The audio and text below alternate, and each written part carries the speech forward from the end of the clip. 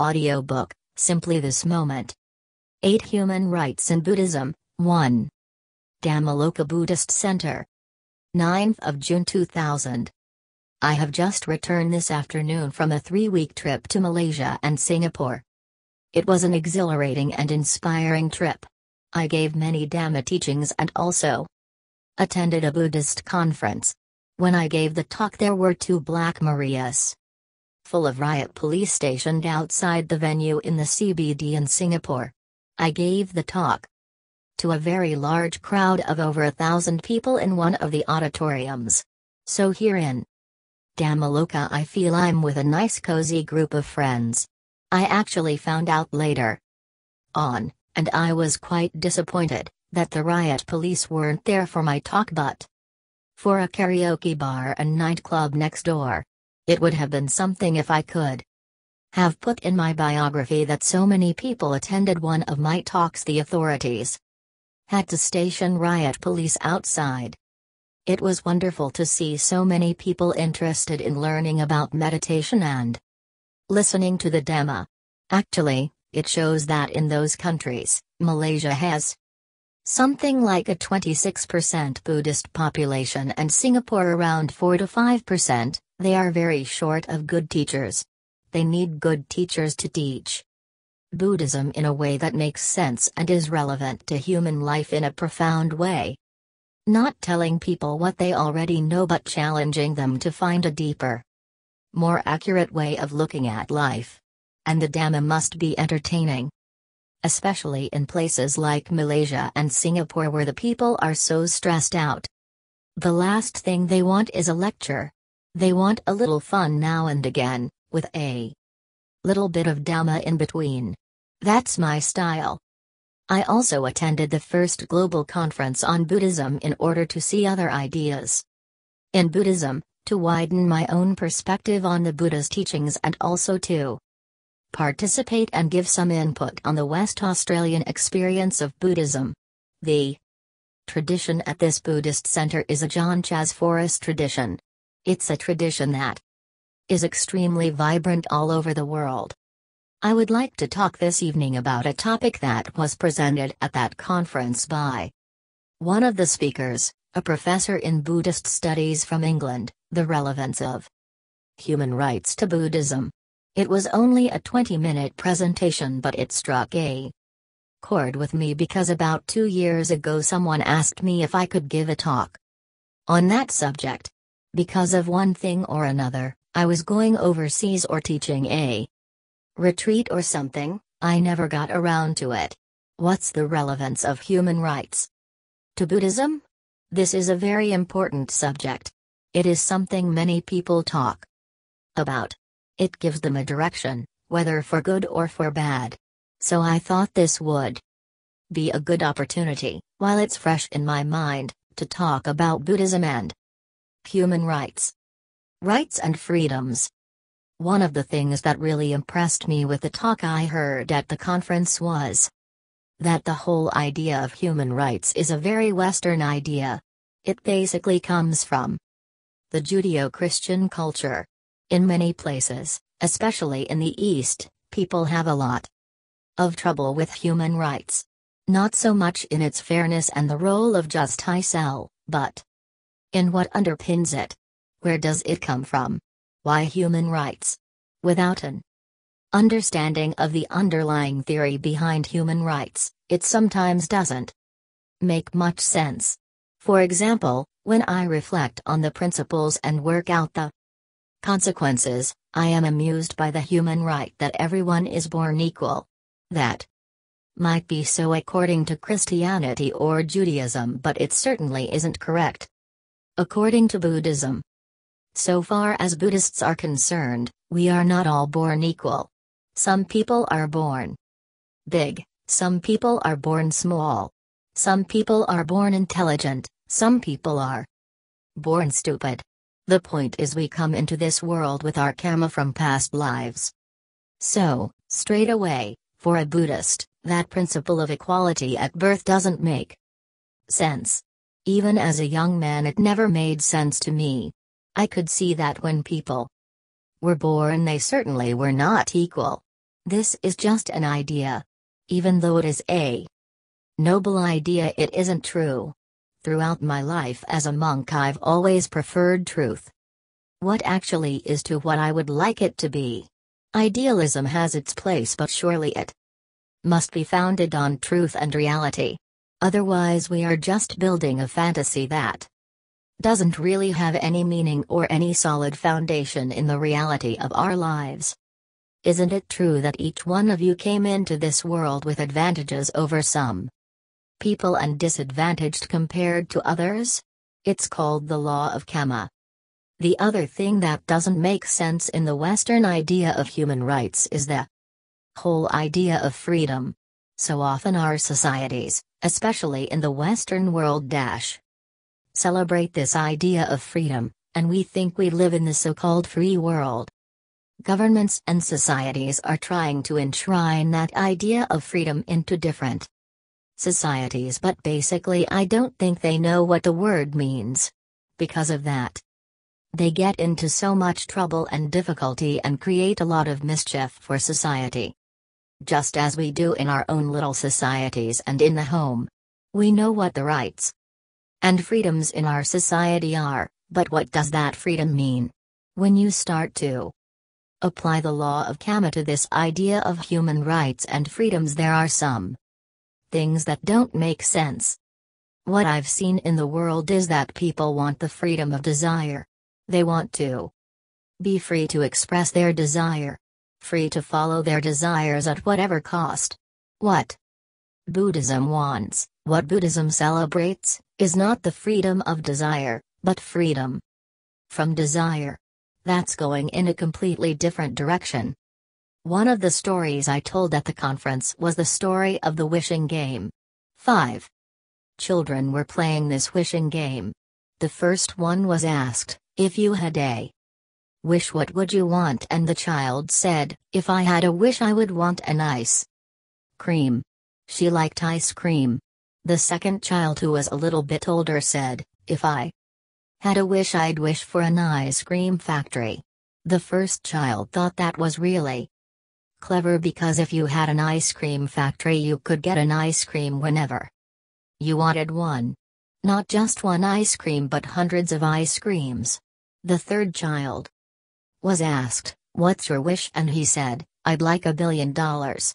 Because with a billion dollars I can buy an ice cream factory, a cake factory, a fish and chip shop or whatever else I want, and I could do a lot more. The first two kids thought, wow. Aren't we stupid? Why didn't we have think of that? They thought that this young fellow who wished for a billion dollars was a genius.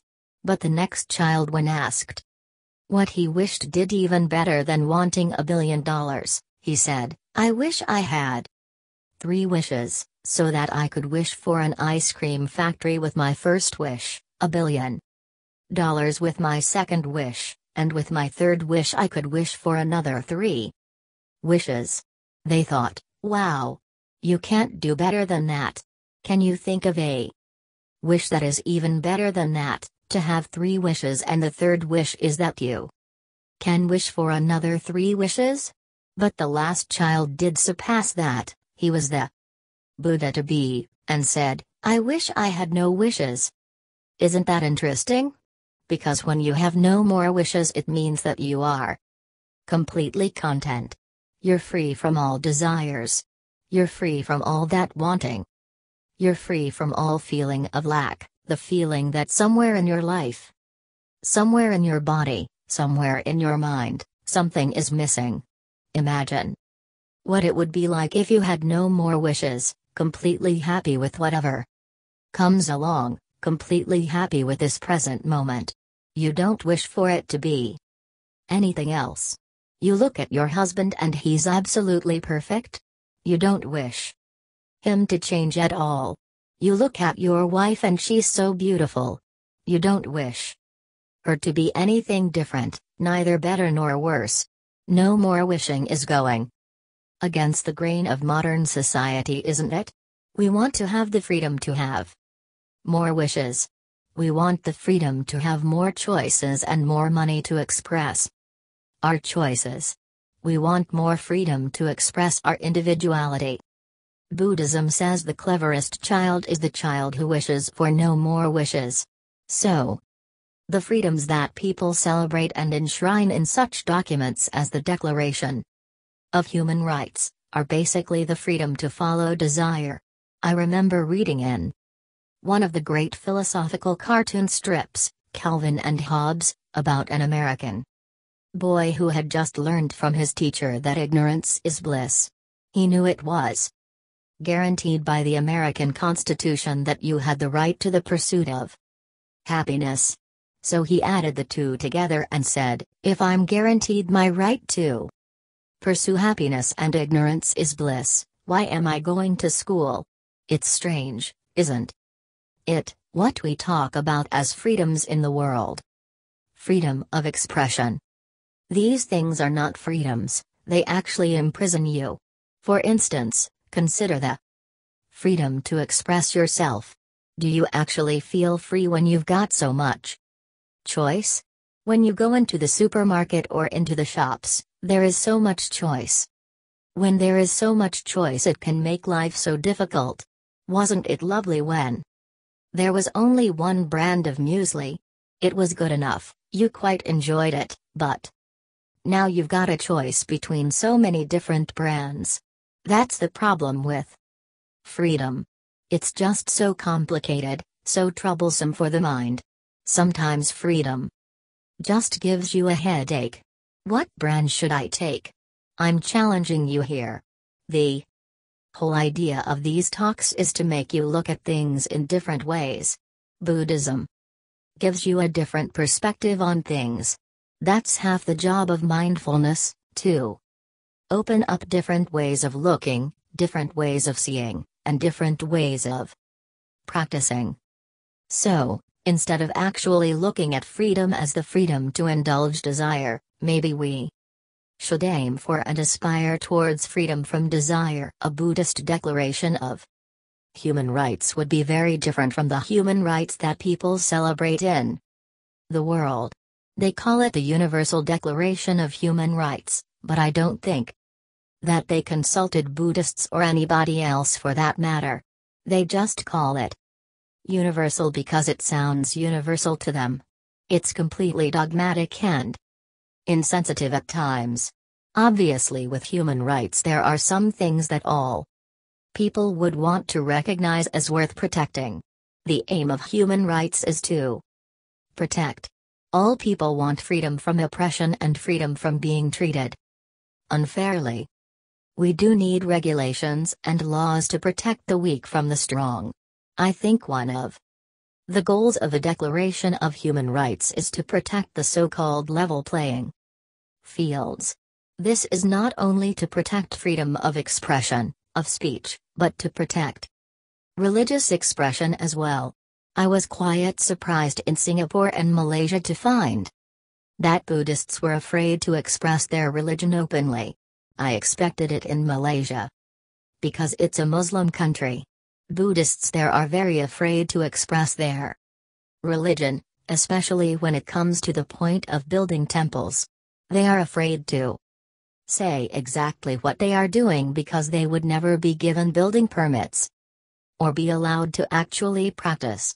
In one place where they are building, they plan to Plant trees on the edge of the property so that no one will be able see what is happening inside, because the Malays might be upset and stop them.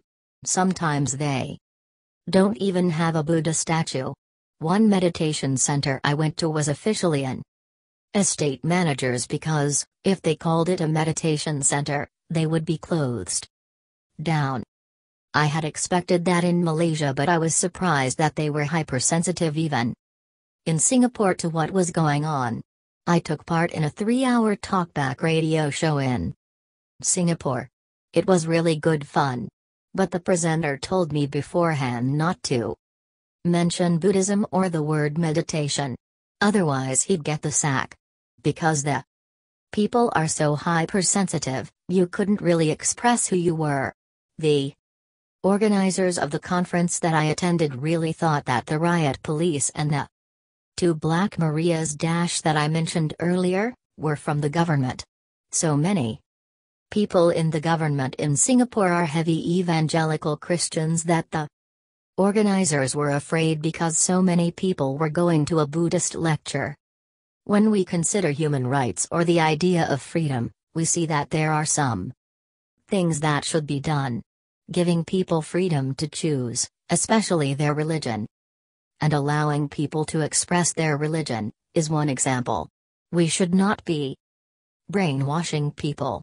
I heard today that someone has bought the lease of a powerful transmitter in the Northern Territory and is blasting Christian propaganda across Southeast Asia. That's not going to make us many friends in the Muslim world. It's a silly thing to do. When pursuing human rights and freedom, we have to be very mindful and have loving kindness, compassion, and sensitivity to the people around us. In Buddhism, it's not freedom for freedom's sake. I can't go and do just whatever I want or preach Buddhism to anybody I see. That was one of the reasons I was personally very impressed with Buddhism. The Buddhist monks and teachers I knew weren't ramming Buddhism down my throat. They weren't telling me that if I did not believe in Buddhism I would go to hell. That happens in some religions.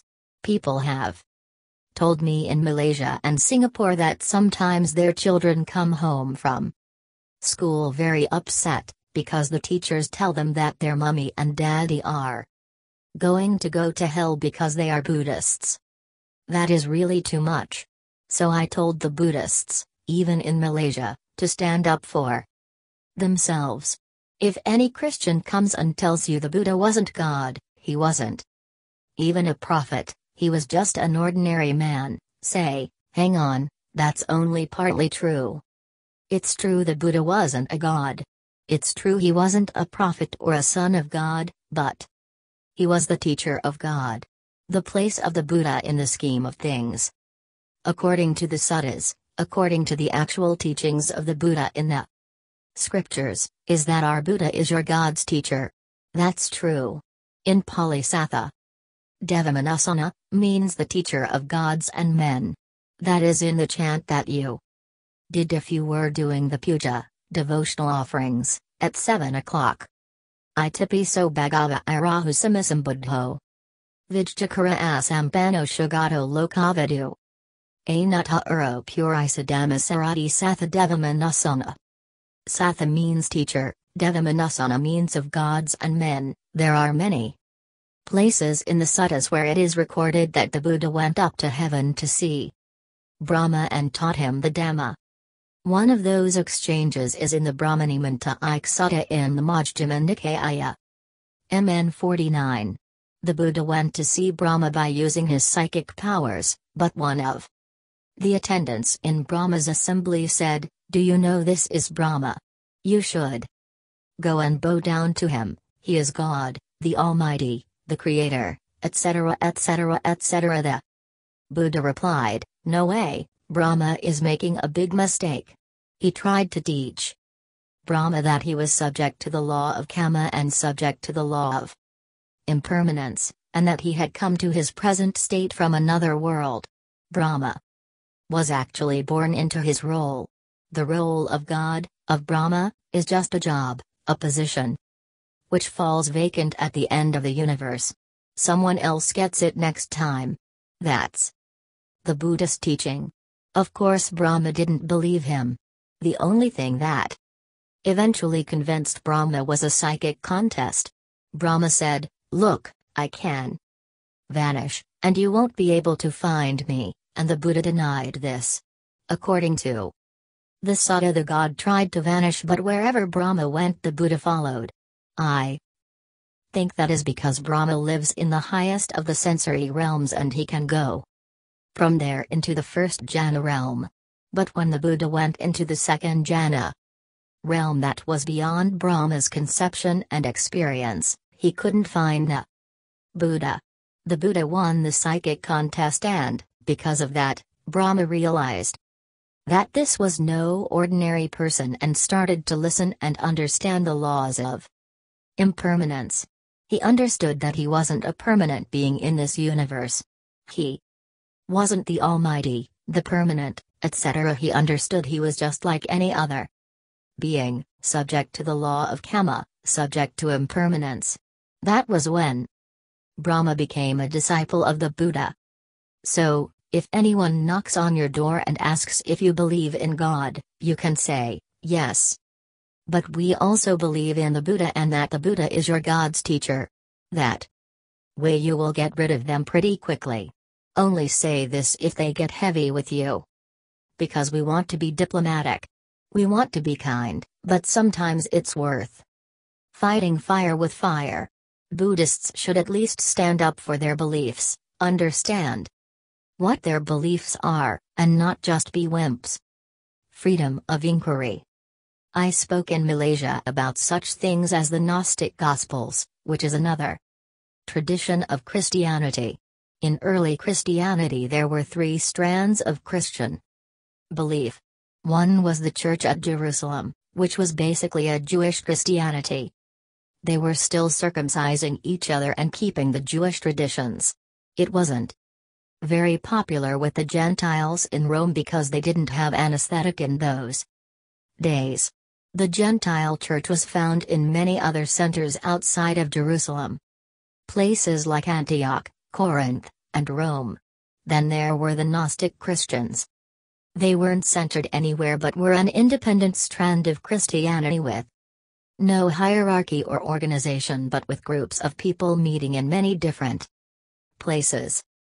When Jerusalem fell in 70 AD, because the Romans were, for one reason or another dash, fed up with the Jewish people, they tore down the temple and dispersed the people. This action destroyed the Jewish Christian church and from then on it was a contest between the Gnostic Christians and the much better organized, more powerful, Roman Christians.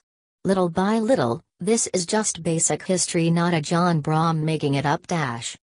The Gnostic Christians were suppressed, considered heretics, and eventually annihilated by the Roman Christians. They were killed, their books were burned, and their libraries were destroyed.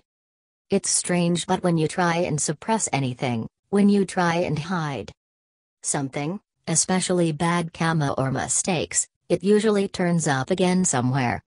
In 1945 somebody, in a place called Nag Hammadi in southern Egypt, found some old texts, old papyrus manuscripts, dating I think to the 1st and 2nd centuries AD which came to be called the Gnostic Gospels. They can be seen at the Nag Hammadi library.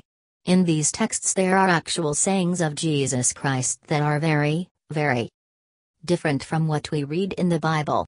If you are interested in another form of Christianity, it's very interesting to read things that give a different slant to that religion.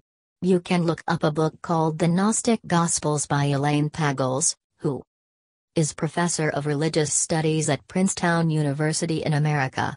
The reason I'm saying this is because one of the teachings in the texts quotes Jesus as saying that God was in his heaven one day saying, I am the firstborn, the Creator, the Lord of all.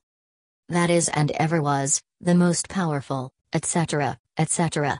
Then someone says, No, you're not. Don't get above yourself, God. There are other beings in this universe which you simply do not know about. God replied, Who said that? Why are you saying that? That is in the Gnostic Christian Gospels, which puts God in a very different place from that depicted in Roman Christianity. I mention this because when we have more knowledge and understanding, when we have more information, we get a much wider and broader picture of things. It's that Wider knowledge that is one of the things that should be a basic freedom for all human beings. Knowledge should be freely available. It shouldn't be slanted or biased. According to certain people's views or religion's agendas. There are some freedoms that we love to have, that are really our right. One of those freedoms that we would certainly put in a Buddhist Charter of Human Rights is the right to freedom of inquiry, freedom of information, and freedom to question. It is by questioning that we find the truth. The Buddha encouraged us not to just sit back and listen, or to only take a book and study it, but to also question. One of the suttas lists the five things that help one become a stream winner, the first stage of enlightenment. It starts off with sila, virtue, morality, keeping precepts and continues with these two beautiful words sutta and sakaccha. Sutta means literally listening to Dhamma discourses. You might call it learning or having the informational input about the Buddha's teachings. Sakaccha means discussion and asking questions. The other two factors, interestingly, are samatha and vipassana. Calm and insight. These are the five supporting factors for the arising of enlightenment. Here I'm just focusing on sutta and sakaccha, the ability to have the information and also to discuss it. One of the things that really attracted me to Buddhism was that I could ask any question, even though they were sometimes silly questions, because the teachers respected and honored questioning. Those teachers would never make a questioner feel silly or embarrassed by saying, What a stupid question that is, you foolish person. Don't ask that question again. I've tried all my life never to do that. If someone asks me a question, even though I sometimes think, What a dumb question. Haven't you been listening? I always try to answer it fully. I've had some dumb questions in my time.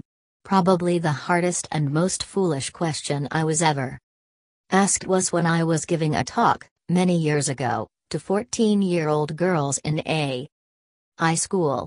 After my talk on Buddhism, I expected the questions to be on Buddhism. But this one girl put her hand up and asked, Do girls turn you on? That was a hard one to handle. Whenever I asked a dumb question, although I never asked questions like that of monks, Dash the monk would always be very patient with me and would actually explain very gently, saying, Look, you're misunderstanding, you should have asked the question in this way. But they would never make you feel small because you had asked a stupid question. I really appreciated that because it showed a sense of kindness and respect. The teacher respected the student. To question is a right for people. That's why I say, whatever question you have, come and ask it. I may not know the answer. It may take me a while, and sometimes you may not be satisfied with my answer, but always ask the question. Often, when people ask questions and I reply, I ask them if the answer is okay. Did I answer the question satisfactorily? Did I understand the question? That's respect for the person who had the guts to put their hand up and ask. I act like this because of my own past experience. Sometimes I've asked a question. And because the person hasn't really understood it, or because the question is simply a bit too hard for them, or it's showing them they've made a mistake, they skirt around it or make a joke of it. I remember Krishnamurti, the teacher, I was quite interested in his teachings for a while. Later, I heard a recording of one his talks given in the New York Library. It was quite a famous talk.